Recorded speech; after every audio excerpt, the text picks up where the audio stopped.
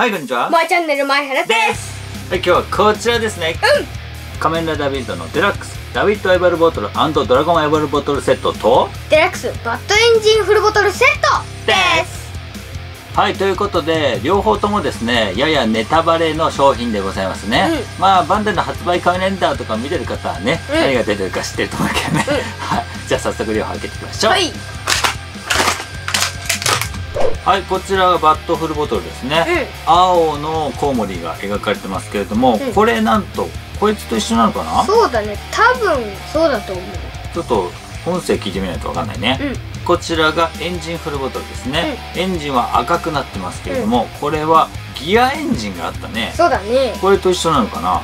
これねパッケージにあるんだけど、えービルドドライバーだと仮面ライダービルドのバッドエンジンフォームになるみたいね、うでエボルドライバーだとこのネタバレキャラなるみたいね。うん。これになるみたいですね、うん。はい続いてこちらがラビットエボルボトルですね、うん。すごいかっこいいっていうかなんかもうメタルなボトルなんだけど、うん。これこの部分が動くようになってますね。そうだね。刺して変身する時にこう動くのかな、うん。シャカシャカアクションはないですね、うでラビットフルボトルと同じなのかな？もしかしたらね、はい続いてドラゴンエボルボトルだね。ドラゴンエボルボトルもラビットエボルボトルと同じようにすごいかっこいいんだけど、うんこれは竜の首が伸びる。そうだね首が伸びるような感じになってんだね、うんドラゴンフルボトルと一緒っぽいね。一緒かもしれないね、うん。はいではビルドドライバーで聞いてみましょう。はい。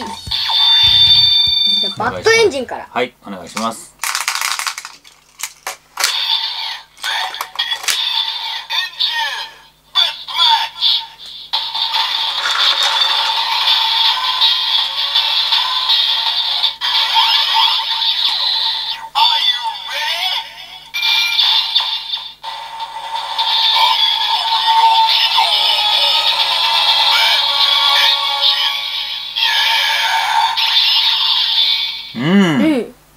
これ一緒かな？そうだね。バッドフルボトルとギアエンジン。うん、これで聞いてみよう。うん。なんか聞いた記憶ちょっとあんだけどな。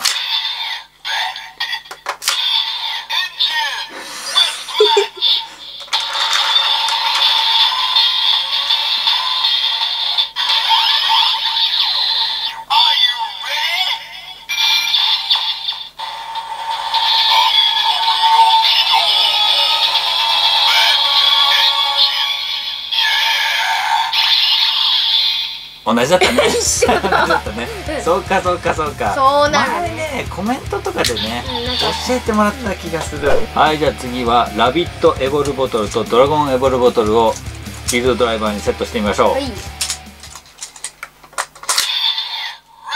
お、やっぱりそうなんだ。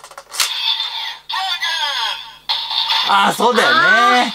そうなんの